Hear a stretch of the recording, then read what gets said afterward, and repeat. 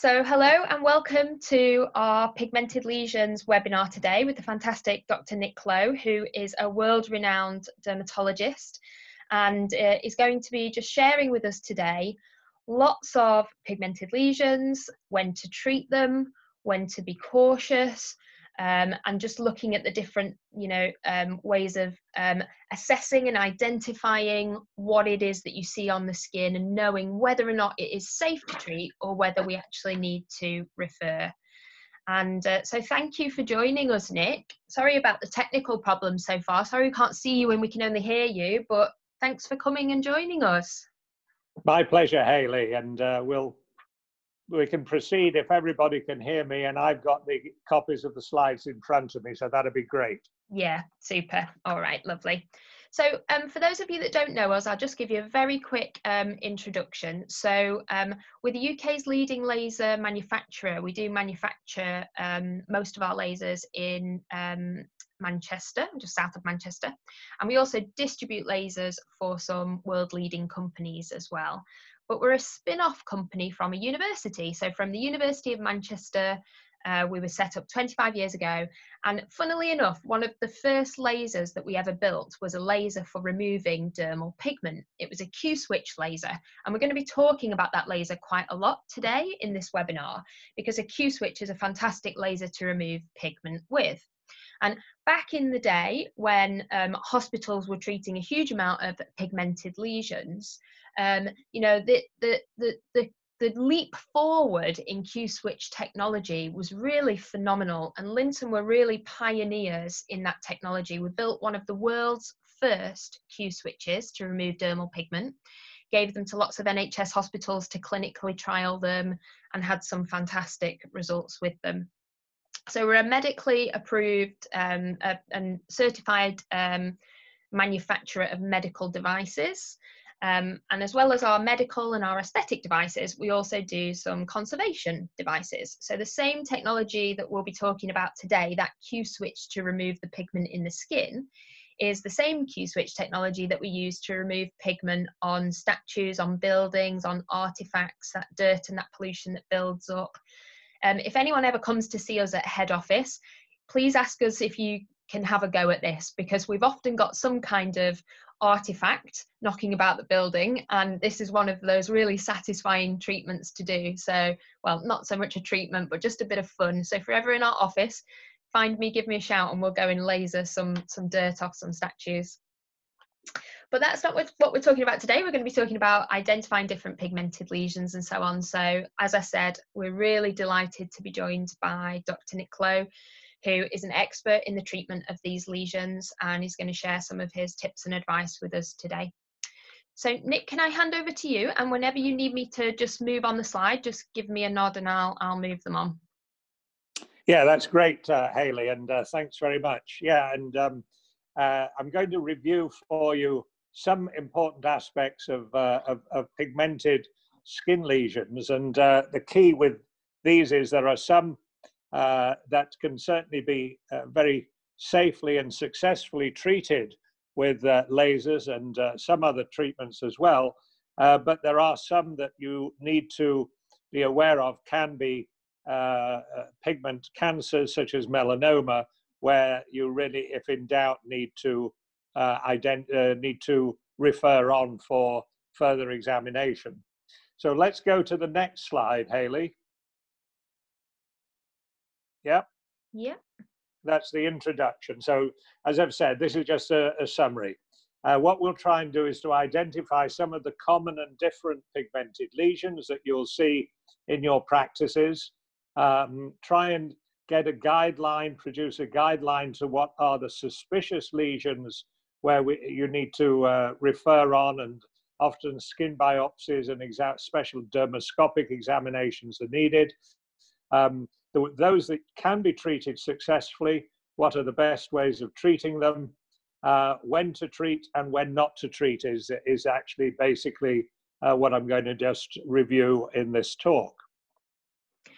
So the next slide uh, should be the four pictures of some different uh, pigmented lesions. And the face um, uh, on the top left is what we call a benign lentigo or solar lentigo.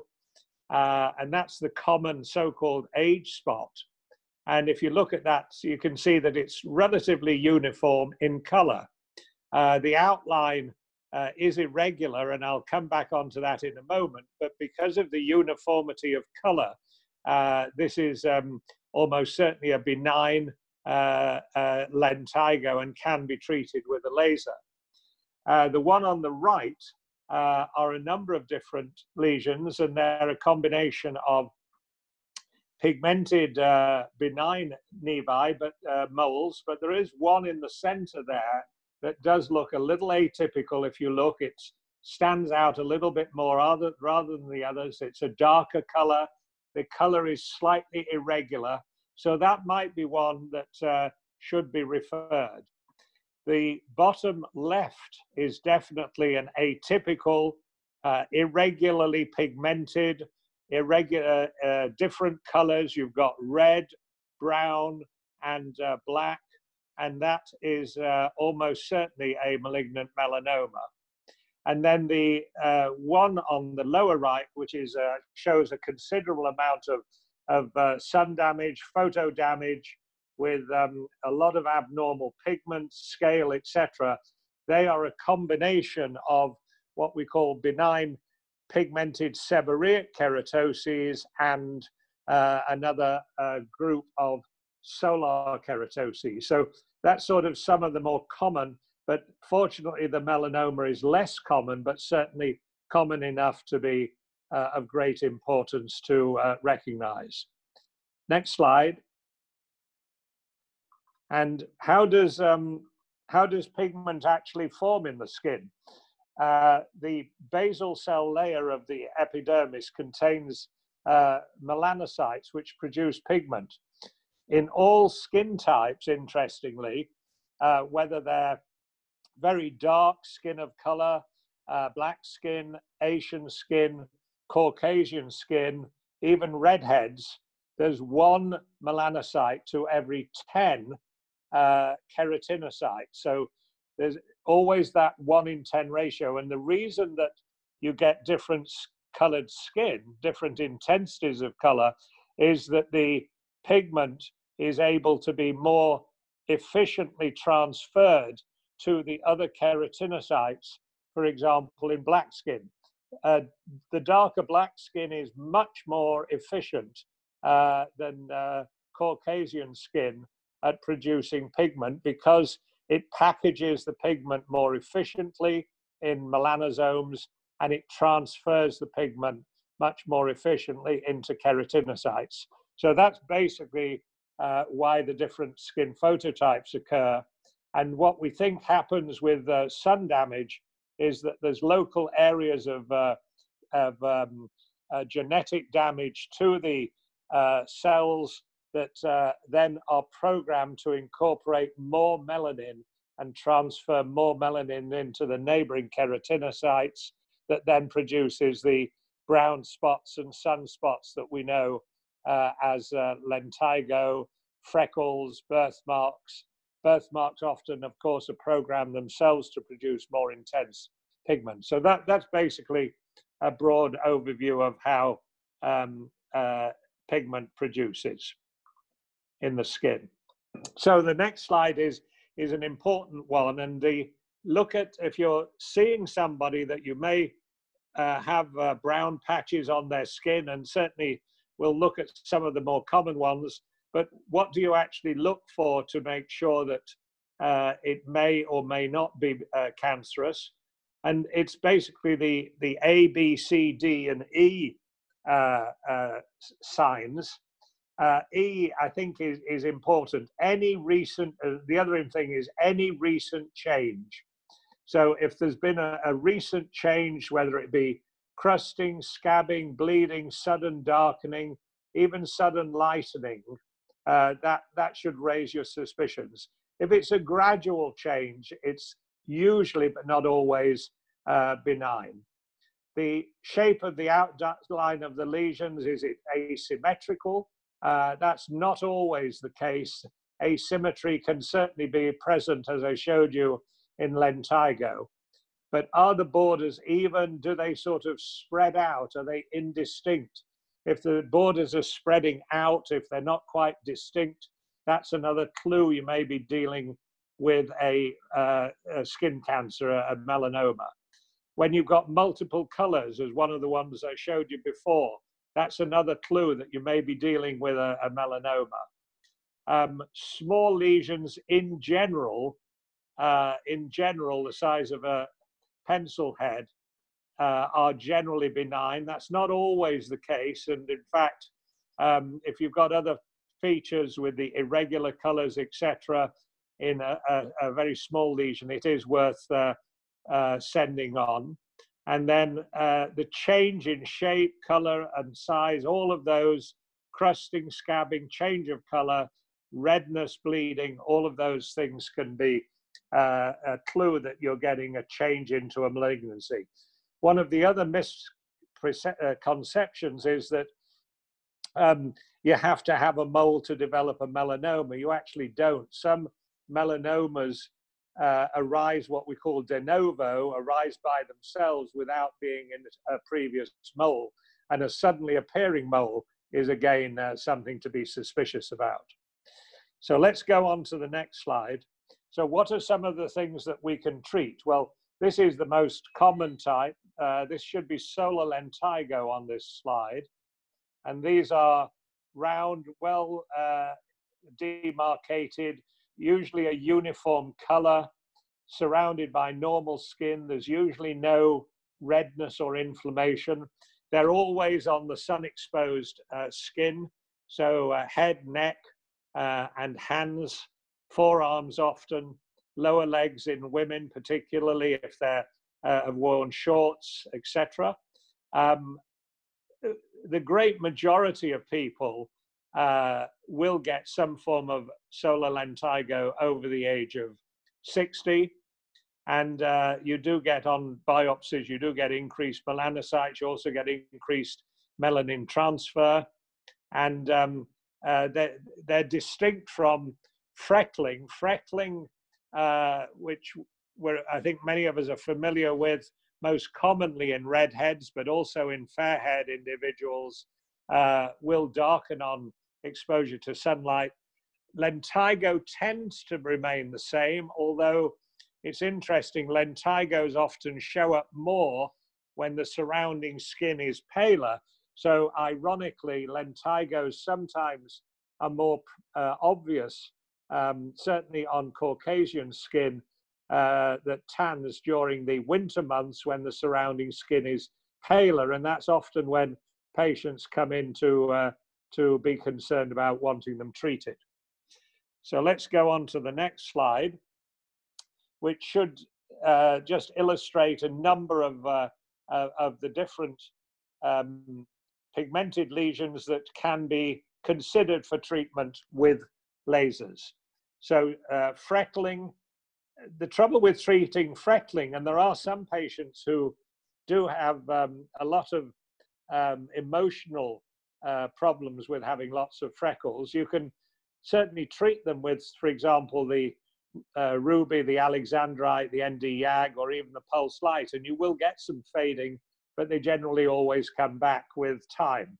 And so I try and uh, reassure them that their freckles are normal but those that can, do want to be treated certainly can be, and you can uh, lighten them with those different treatments. Lentigo, you certainly can. café au lait macules, the um, these brown birthmark type flat, uh, uh, darker brown spots. Um, again, they can be treated, but they will often come back. Becker's nevus is a nevus uh, which is basically pigment plus hair growth. It's a benign, hairy, pigmented nevus. So any nevus that, uh, any dark congenital area that's uh, got increased hair growth is, is, what is known as a Becker's nevus. That's often, if you're treating those, uh, we will often use both the um, hair removal laser settings as well as in combination some of the pigment settings, for example, uh, the Alex and the and the uh, Ruby, and the uh, ND-YAG. Seborrheic keratoses, in my opinion, are best treated with some form of ablative treatment, either a um, uh, targeted ablative CO2 or uh, cryotherapy, uh, or sometimes some of the pinpoint stronger peels. But um, caution is needed not to cause hypopigmentation. And actinic keratoses we'll come on to in a little bit. There's a variety of different treatments there. And then a variety of different benign dermal pigment we'll talk about later. Some rare conditions, the, um, if you will, the uh, oriental or Asian pigmented uh, lesions, the nevus of Ota or Ito, some benign nevi, blue nevi, and obviously pigmenting tattoos. You have to be careful with tattoos, which is a uh, certainly a subject of a much longer webinar, but some colors don't do well. Indeed, yellow uh, tattoo may darken paradoxically with some of the pigment lasers. So be careful. And if they've had dark tattoo overlying yellow, you may be uh, causing problems with darkening.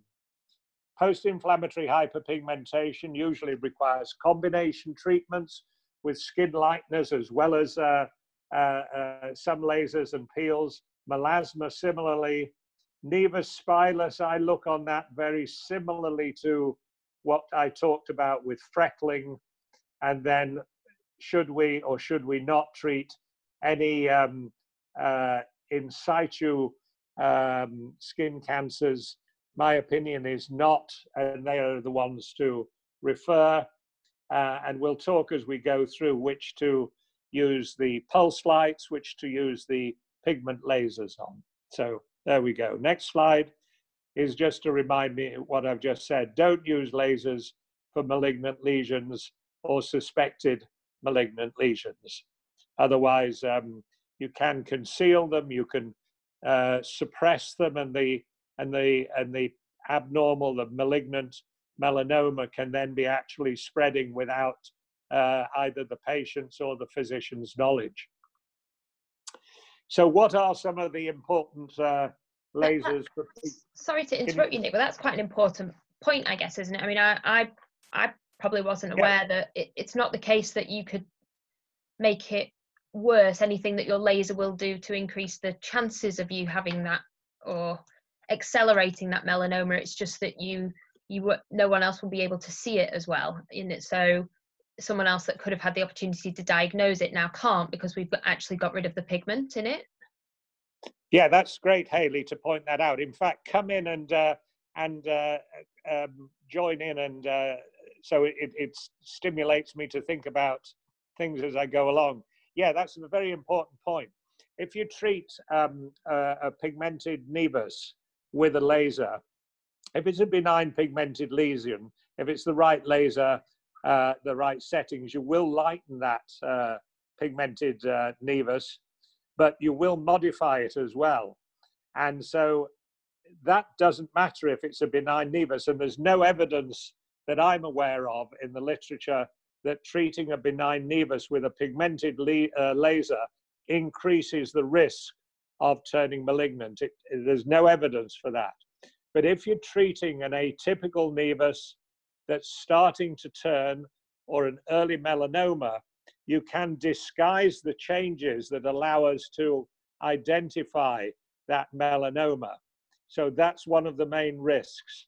And so that's one of the main reasons why we don't want you, uh, anybody to be treated that has a, what we call an atypical mole that has a higher risk of going into a melanoma or a true early melanoma is because you can change the appearances when you look at it. You can change the appearances under the dermoscope, which is you probably all know is a special instrument. The dermatologists look at a very ultra magnifying picture of, of, of pigment lesions. And then finally, um, if even under the uh, microscope, when you take a skin biopsy of something that's been treated, uh, benign, uh, a lesion that's been treated with a laser, that can look atypical. So those are all reasons why, if in doubt, don't treat. And can I ask another question actually as well? Um, so at Lynton, we say that if somebody has a history of any form of skin cancer, that they're contraindicated to all laser treatment. Um, I think that we have to be sort of quite strict in the guidelines and the rules that we give. I'm just interested to know do you treat people that in the past have had skin cancer or do you contraindicate that as well? Well, I think that the right way to, and, and I agree with what your uh, your advice is. I think the advice is that those patients can be treated by a dermatologist, but only after we've gone over the whole patients with a fine tooth comb and a dermoscope to examine every area. And certainly, I will treat patients, for example, that have had actinic keratoses or a basal cell cancer in one part of the skin and they've got multiple areas of photo damage or lentigo, for example, on the face, uh, but only after a very, very careful uh, full skin examination with dermoscopy. So I think for most practitioners, refer that type of patient with a history of skin cancer. Yeah. Skin cancer history means that they have a higher risk of melanoma. It is one of those uh, one of those increasing um, what we call comorbidities. Okay. Okay, yeah, great, perfect. So we're on to our lasers for pigment slide now, Nick. Yeah, and uh, I was uh, used one of the very early um, Q-switched um, ruby lasers way back for uh, treating um, originally tattoos and uh, and and hair removal. Uh, so I must have started that about uh, 40, 30 odd years ago. Um, and the first, actually, the very first laser I ever used was the uh, second one available in the United States of the uh, pulse dye lasers that uh, is now used routinely for birthmarks and um, telangiectasia. So, yeah, the Q switch lasers are extremely valuable, um, and the wavelengths of the lasers that uh, are selected are the ones that are most absorbed by pigment, and they include the Alexandrite laser, uh, the ND YAG laser, uh, the old ruby laser. There's still quite a few of those around. And then we can use what we call non-selective uh, um, lasers to reduce pigment, which include the uh, carbon dioxide laser, fractional, uh, fragmented fractional uh, carbon dioxide lasers, very useful. There's a few other wavelengths as well that can be used uh, with a fractional laser, such as um, a 1550 nanometer one.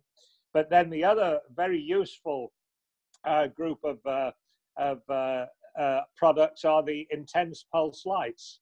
And they've really come to the fore because by selection of the parameters with the um, specifically the different filters uh, as well as the different pulse durations, uh, you can get really excellent results with, uh, with the pulse lights. They're not lasers and they're not uh, Q switch. They tend to be longer pulsed uh, in duration, but they are extremely valuable. So let's go on to the next one there.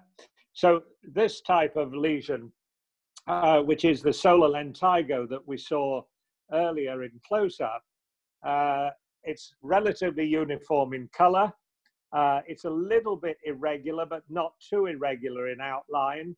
Uh, and in addition to the larger one that she's got at the right eye, you can see lots of little ones scattered. So this is a sort of patient that I will frequently treat by targeting the darker uh, lesion uh, with the Alexandrite laser, and uh, I will either use the long pulsed or the Q switched Alexandrite or Nd:YAG laser. Um, and then to the whole face, and uh, she will do very well, and she has actually improved and uh, with the intense pulse light. So I'll get a more focused, more rapid improvement with the um, uh, pigment Alexandrite ND YAG and or long pulsed or Q switch, and then treating the whole face with the IPL. You may get, uh, you will get a significant improvement with the uh, larger uh, lentigo with IPL, but sometimes it does need a little extra help.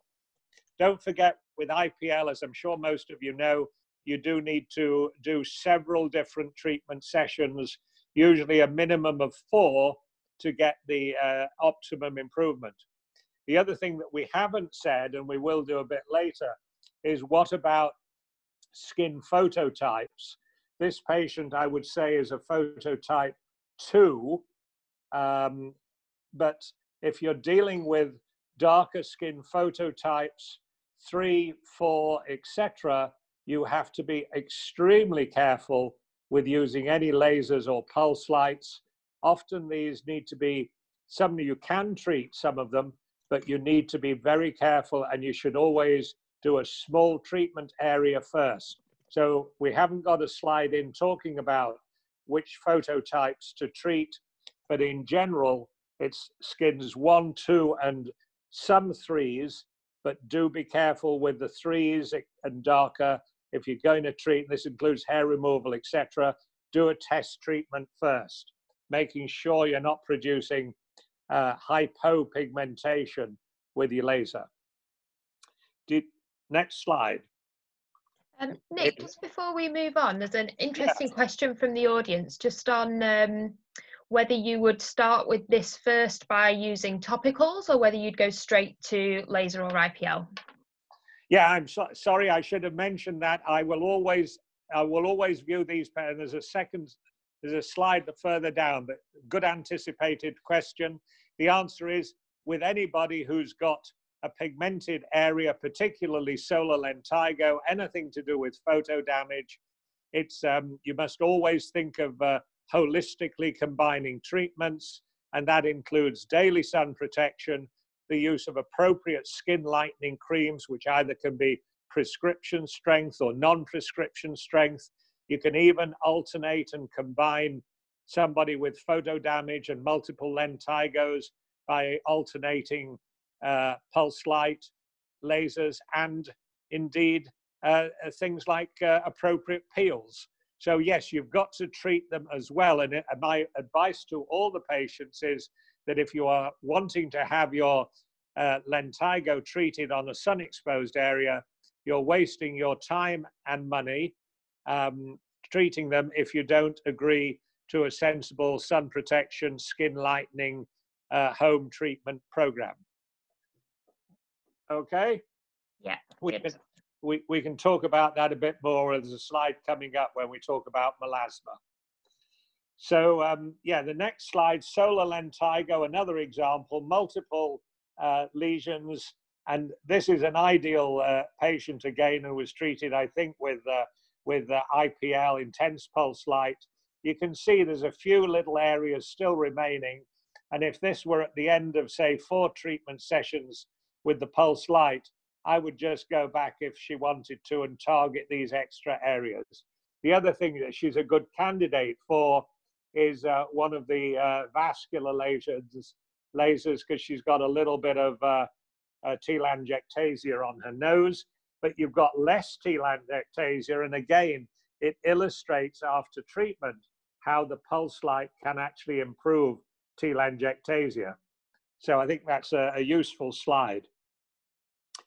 Okay. Next slide is again uh, a slightly more one. This is from Dr. Gonzalez, but uh, this is the type of patient that I would definitely treat with a combination of um, topical therapy. I'd pre-treat with tretinoin, uh, skin lightening creams, uh, ideally for at least six to eight weeks before the laser. Photo protection every morning, get them into that habit.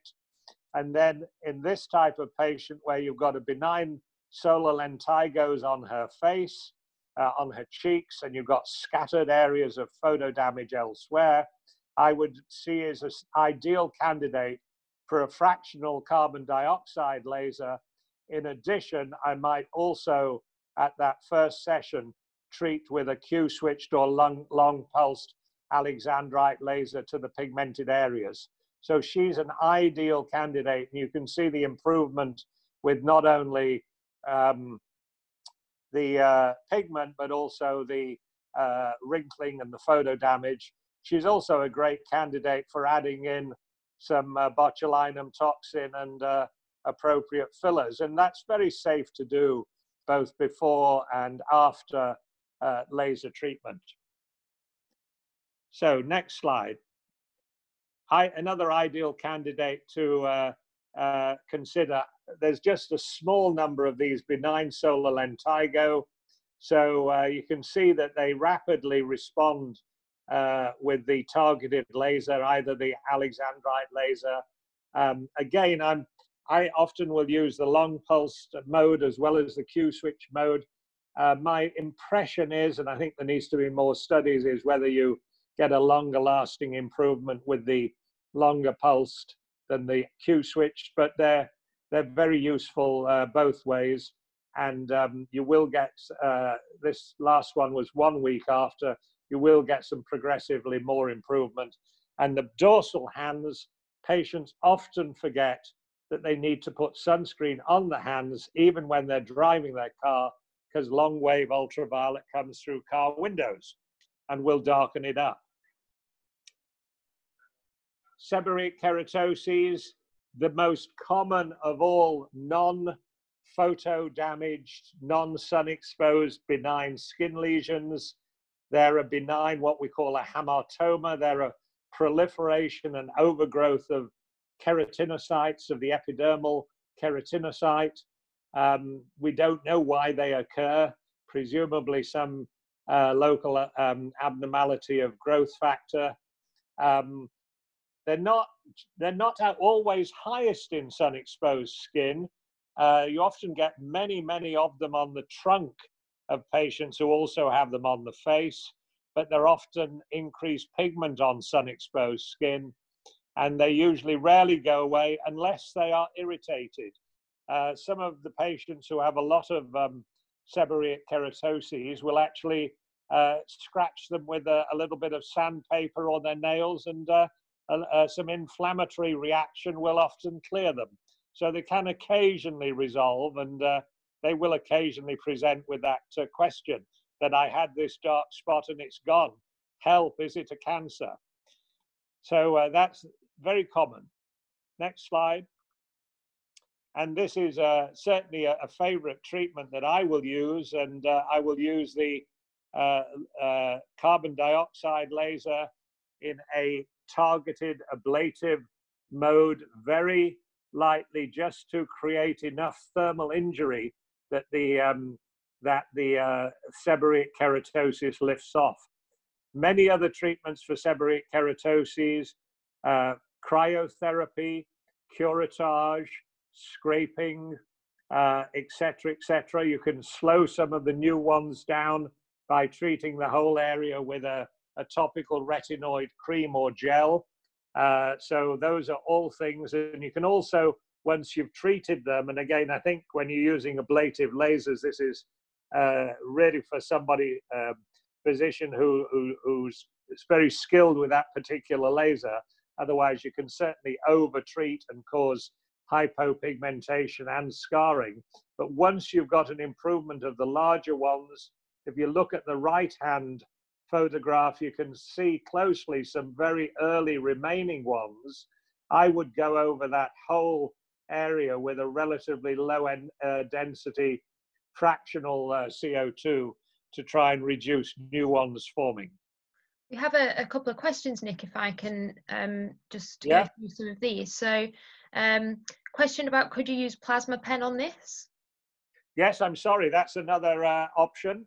Uh, we've uh, been looking at the plasma systems in our clinic, and I would have to say I am not um, switching away from my local ablative CO2.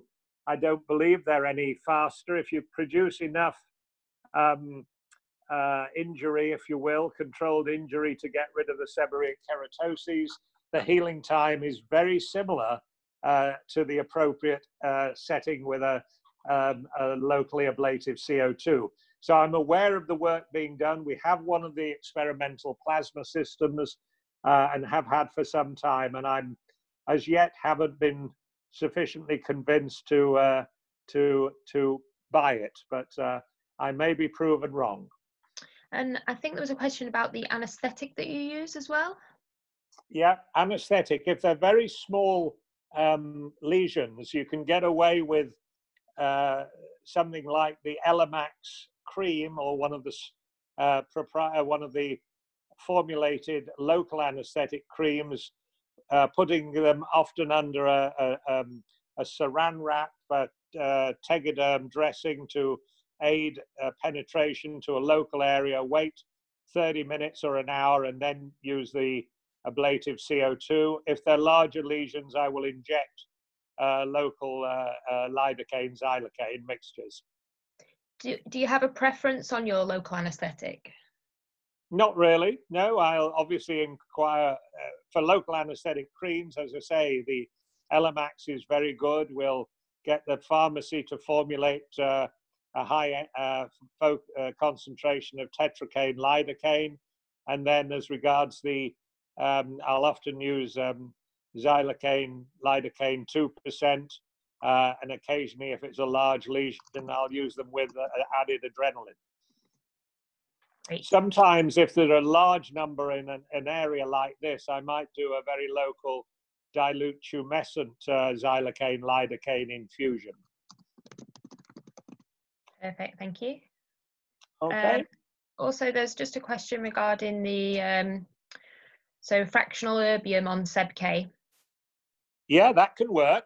Um, fractional erbium can work very well. You don't get uh, quite the same hemostasis that you do with the CO2, but um, uh, certainly you get a nice result. And gentle fractional erbium is uh, is is very successful. As I say, fractional systems are very good if you've got multiple small seborrheic keratoses. If you've got larger ones, you need to do use some ablation. Great.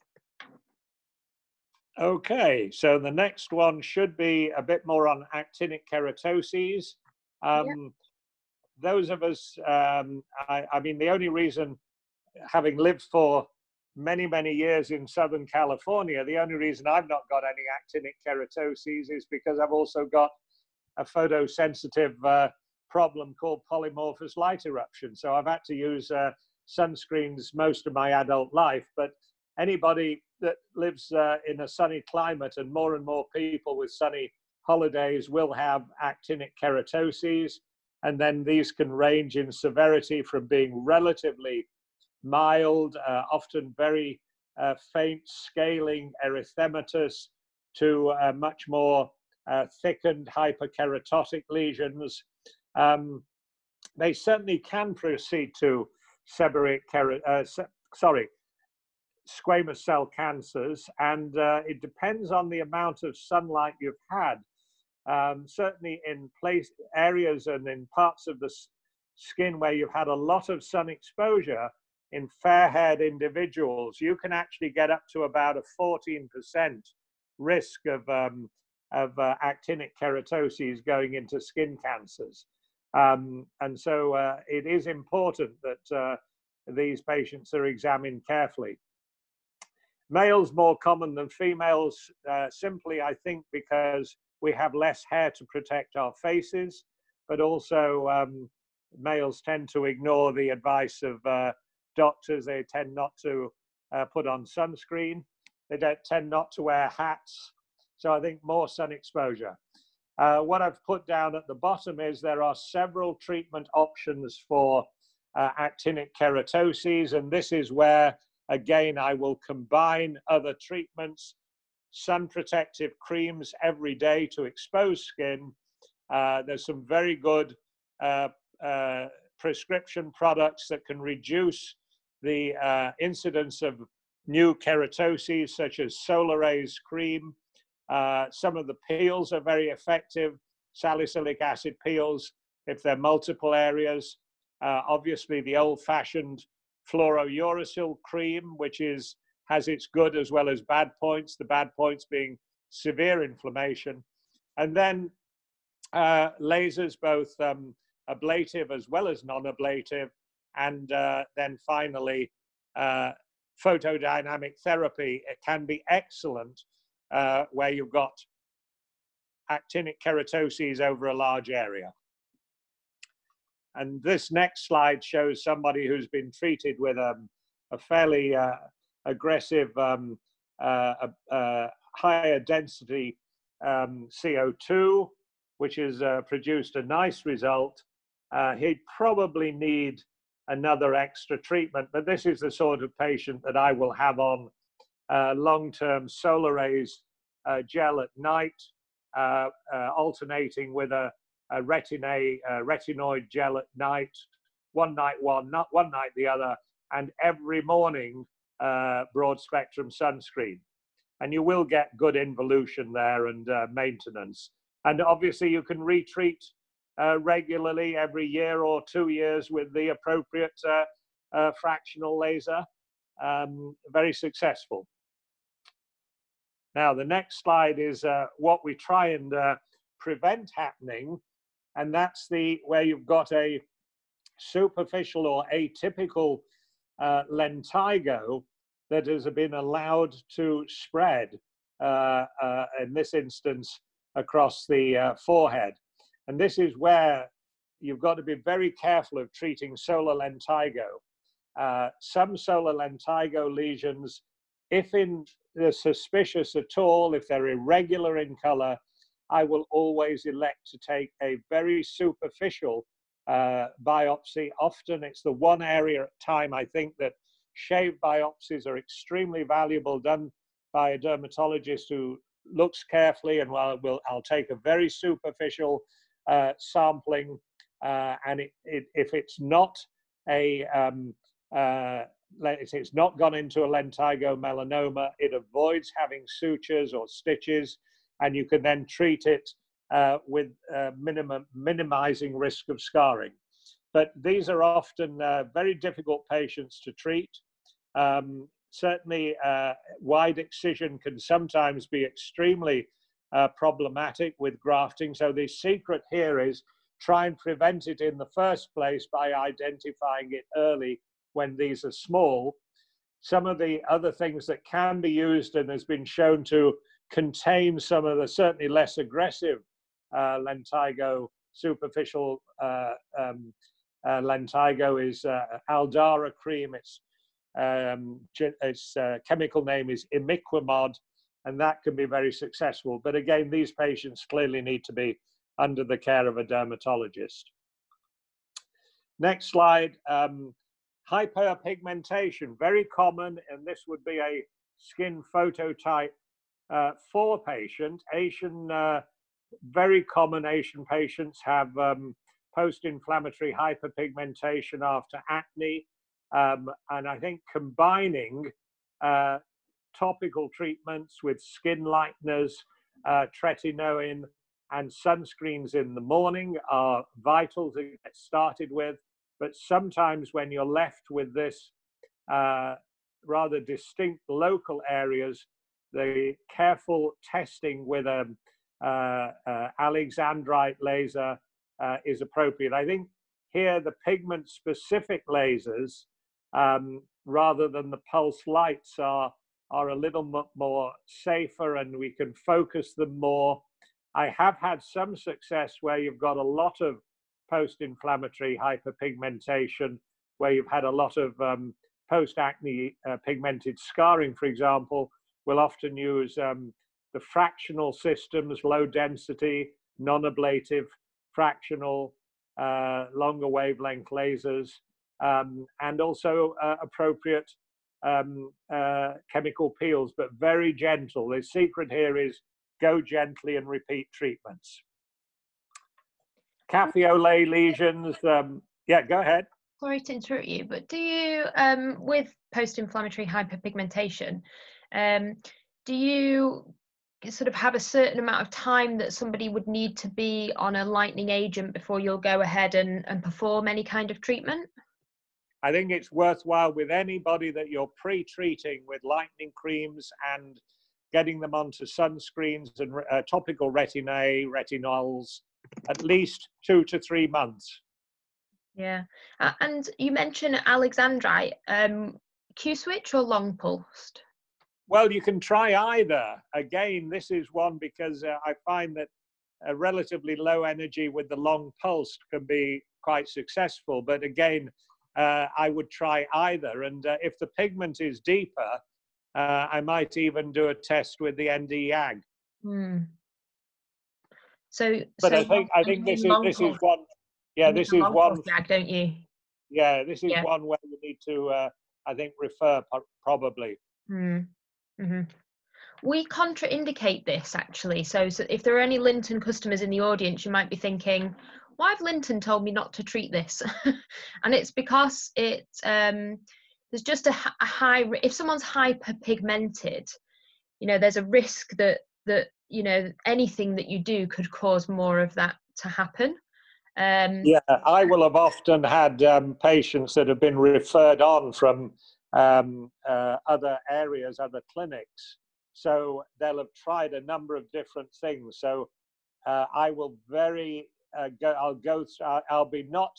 I'll be quite cautionary with the patient, saying that we may be able to improve it. We will do a, uh, get you started on the home treatments first, and then to test very carefully with appropriate laser.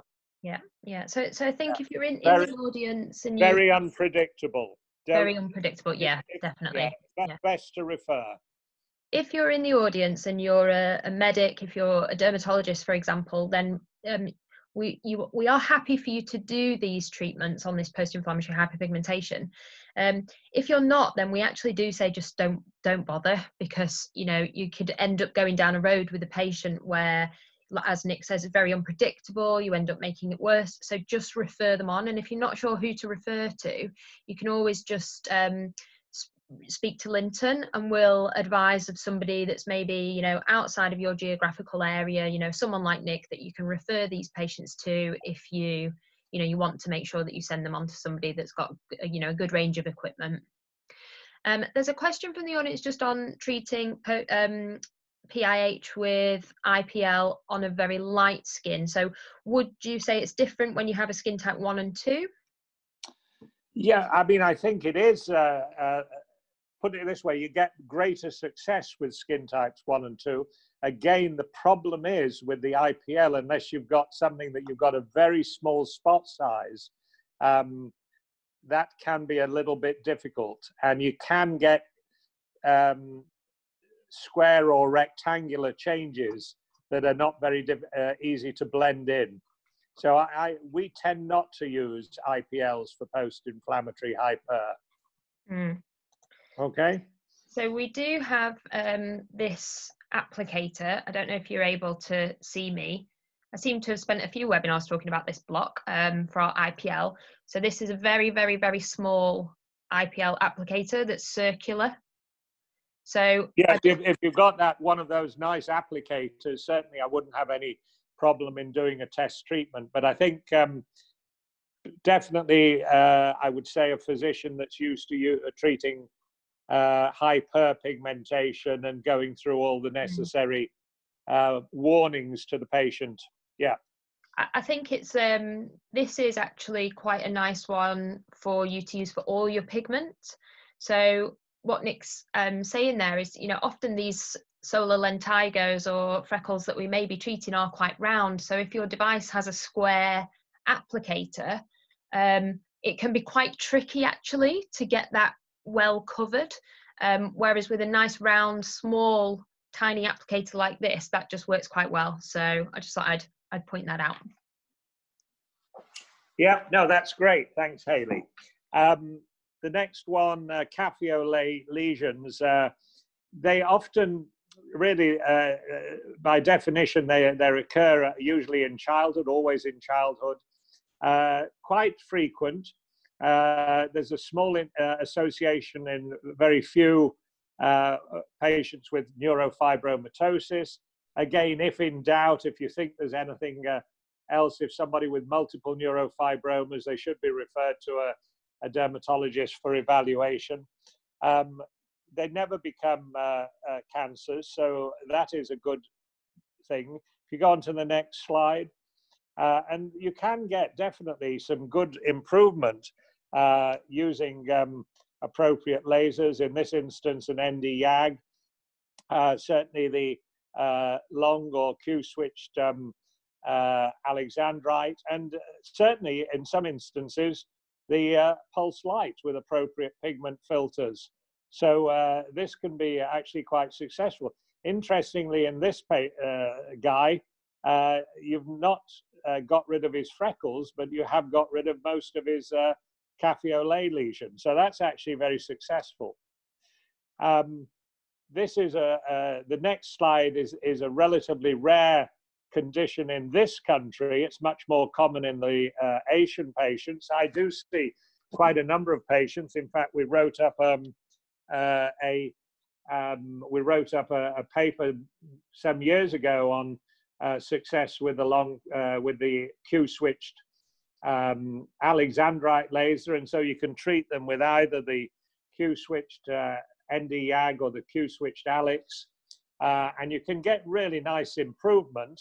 Um, it's rare that you get melanoma, and they're usually uh, very benign lesions. If you go on to the next slide, this is this typical, uh, um, very light gray pigmented areas, often some background erythema in uh, Asian patients. Um, some Hispanic patients, I used to see quite a lot in Southern California in the um, uh, in the Hispanic community there. So it's not just Asian patients. So um, uh, interesting patients, and uh, uh, this is the point of another um, webinar indeed, but it's when I was treating a series of patients. If you look at this one on her left, she's got those dark circles as part of her nevus of Ota under the, the right eye. And we noticed that we could really improve that with nevus of Ota. And we, it uh, led to us doing some research on uh, treatment of dark circles, but I've not got time to go into that, that now. But uh, interesting, uh, another aside. Very much more common condition, the next slide is melasma, um, and it's uh, these patches of pigmentation, usually on the face, occasionally on the neck, um, always related to um, pigment uh, to the um, uh, having taken the contraceptive pill, having had pregnancies. Uh, it's an estrogen stimulus, uh, and it can be patchy, it can be widespread, uh, uh, and it's very typical and very frequent. More commonly in skin, darker skin phototypes, as the next slide shows. Um, and often, uh, it, interestingly, it, it, it's not just sunlight that causes it. It's now known that it's uh, visible light and indeed heat, um, infrared, can actually increase uh, melasma. Next slide. The treatment is very important to be, um, it's a multiple treatment approach. The patients have to be warned that there is a problem uh, with repigmentation. And so sunscreen is every day is essential. And I will use reflecting as well as absorbing sunscreens uh, on the patients. We'll use skin lightening products, including hydroquinone, um, uh, niacinamide, uh, alternating often with retinols and tretinoin. Uh, azelaic acid is uh, another good product that can um, increase, uh, uh, decrease skin uh, pigmentation, and repeat chemical peels. next slide. If you've got, however, localized, well demarcated melasma, as in this case, you can use certainly the pulse lights. And what we'll often do is go very cautiously, do a test area, and I will often in this patient pre-treat with a skin lightening, uh, and then I will also start using uh, uh, chemical peels alternating with IPL. So two weeks ahead, I'll do the peel. Two weeks later, I'll do the IPL. Back to the peel, back to the IPL. And if they're religious about using their skin lightening, you can um, uh, also get progressive lightening uh, that they will repigment if they don't protect, um, and they often forget and stop using uh, the skin lightening and the, and the sunscreens in the winter, and uh, they will then repigment through the with the UVA present in the winter. And then the other thing that's being used now, and I've used this for several years, is oral tranexamic acid, which is an estrogen blocker, which used to be used for um, menorrhagia, um, heavy menstrual periods. This can also help to uh, block the estrogen effects on the pigment cells. So it's a multifactorial treatment, and I will say there isn't a cure, there is ongoing treatment that you may wish to continue with, you may get bored with it. Interestingly, later on in life, postmenopausal uh, uh, women, they, you will get uh, often a progressive lightening of their melasma. And then the last slide is conclusions. So you got many, this is just some of the um, options, some of the targets that you can use to treat uh, with lasers. Extra caution in darker skin types when you're using any laser, but particularly when you're treating pigment disorders. Test areas are usually required, in my opinion. For pigmented lesions, we've talked about the risk of missing a melanoma. Always advise daily protection as well as appropriate skin lightening products. And then, if in doubt, refer. Yeah. And that's the last slide. Perfect. That that was fantastic, Nick. Thank you um, so much for that so far. We've had lots of audience engagement all the way through that. Um, and there's a, a, couple of sort of last questions and a, a, some interesting discussion areas to just get into. Um, one of the questions just here is, um, do they continue using the skin lighteners during treatment? So I'm guessing that's for melasma. Do you keep them on the lighteners all the way through? Yes, they do. Absolutely. And there's no need even to stop um, the retin-A. Some people say stop the retin-A a week or so before uh, a treatment. I don't believe that's necessary. And uh, in fact, um, if you're treating treating them regularly, um, you need to. Um, uh, that's a buzz that I've got something in about two or three minutes. Okay. so the answer is yes. You keep going with them, and you can restart the skin lightening literally uh, uh the next night. Yeah. Right. Right, Nick, there's one question which I won't be able to answer. So if we can ask you that and then we'll let you go and I'll, I'll try and finish up any other questions um, yeah, that are in the audience. So how, how long do you continue the oral um, tranexamic acid tablets for? And do you use a topical um, tranexamic acid cream? Do they work? I'm not convinced that topicals have been sufficiently proven. There are lots of people that are promoting it, lots of companies, there are few companies that are promoting it. I will I'm waiting to be uh, found out. I don't think they do any harm, so you can certainly try it. Some have got um, um, tranexamic acid and other skin lighteners like azelaic acid mixed together, and that's fine. Mm. Um, I would, uh, any skin um, uh, lightener, um, as I say, we, we continue with it. Oral tranexamic acid, I'll start at, at the first consultation. Uh, give it, I always use um, full consents. There is a small risk of uh, historical risk of deep vein thromboses, but uh, we haven't seen any as yet, touch wood, but that is something to be aware of. Um, and um, uh, they'll start and they'll continue right through the course of treatment. Um, and once they've got maximum improvement, I'll then stop it. Mm-hmm. All right, super. That's brilliant. Well, thank you very much, Nick. That was fantastic. Sorry we did get off to a bit of a delayed start, um, but that worked really well. well yeah, well, if we can, uh, we'll get our Zoom uh, uh, sorted somehow. Yes. Mm. yeah. yeah. we'll just use it tomorrow and it'll be fine. yeah, probably will. It yeah. was it was it was fine with one of my sessions earlier on, so I don't know yeah. what's happened. Yeah. Well, thanks so much for persevering and thanks for your time today. That was that no, was that's fun. great. And we'll touch base and thanks everybody for their attention. Thank Perfect. you. Thank you. Bye. Thanks. Bye, Nick. Bye. Bye. Well, I'm going to stay on for the next five minutes or so. So if anyone has any additional questions or anything that you want me to run through, um, then I'm more than happy to do that. And I've got a couple of questions about our tattoo masterclasses later in the week. Um, and there's a there's a question just about the melasma, which I think is important one. If you're a Lynton customer, let's let's just talk about our standpoint on melasma. Um, and yeah, anything else that, that you want to just ask as a final question, then pop it into the chat and we'll try and uh, answer these for you. So um, someone's just commented, um, sorry, I can't find the actual message now, but regarding how they've been advised, yes, Kay. Yeah, I mean, we actually, our, our blanket rule is to um, strongly advise you not to treat melasma unless you are a dermatologist or a medic. Um, and the reason for that is because you know we we have an awful lot of our systems installed across the UK.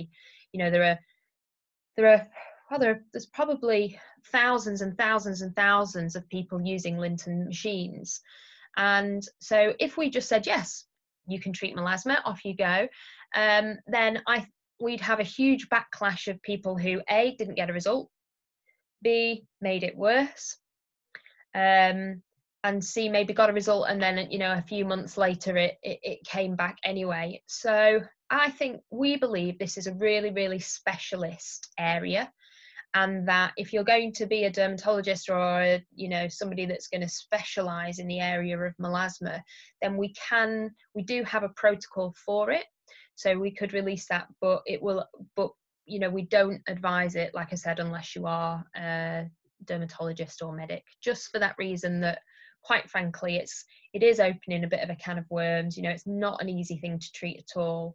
Um, and they you know you see how experienced nick is putting them under the care of somebody with his experiences is perhaps the better choice for the the patient. So i hope that uh, answers that question for you. Um, and yeah. Uh, thanks. Yeah perfect. Um, okay so I think we've covered all of the pigment questions, but if there is anything that I've missed, then I apologise for that. A um, couple of questions on the, can we do this as a masterclass? Yeah, we actually um, do have in our syllabus a vascular and pigment masterclass. So um, We've done our hair removal masterclass last week. We're doing a tattoo removal masterclass on Thursday, and then we will at some point put together our vascular and pigment masterclass. It is a big chunky subject, isn't it? So it does warrant doing a full day masterclass. We'll mix it with some vascular work, and uh, as soon as those dates are released, then yeah, we'll let you know. We'll start advertising it on our social media. Uh, yes, we did record the tattoo webinar from yesterday. That's not uploaded to YouTube yet, but as soon as it is, then if you did register for the tattoo webinar yesterday, you'll receive the link to it. Um, if you didn't register but you'd like to see that, then the best thing you can do is drop me an email. I'm on info at lynton.co.uk. I'll put it in the chat box here. Um, and also we did a rosacea with Nick, not a rosacea webinar with Nick, um, not that long ago. So that's a really good one to catch up on if you've got an interest in rosacea. He gave some really good tips and advice um, in there. Um, and uh, yeah, so if you go onto our YouTube channel, if you go onto our website and just look for webinars, then there's a whole host of different subjects that we've covered over the last few weeks, and we endeavour to do more next week. We're having a bit of a business digital week next week, so we're going to be running some webinars on getting all your digital uh, tools um, put together and sorted out, ready for going back. And then we're also going to do one on uh, a bit of business coaching as well. Um, and then yeah, maybe a con- maybe a consultations one. We think. I'm waffling now, so I'm going to go. but if there's any last questions, then uh, do please drop them in the chat. If not, then have a lovely day, everyone.